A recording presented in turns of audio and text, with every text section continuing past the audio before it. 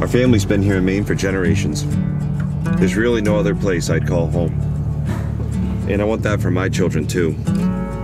It's the reason why hundreds of CMP employees, like me, with families living here in Maine, spend days and nights protecting and improving Maine's grid to make it smarter, stronger, and better for future generations of Maine families, like yours and mine.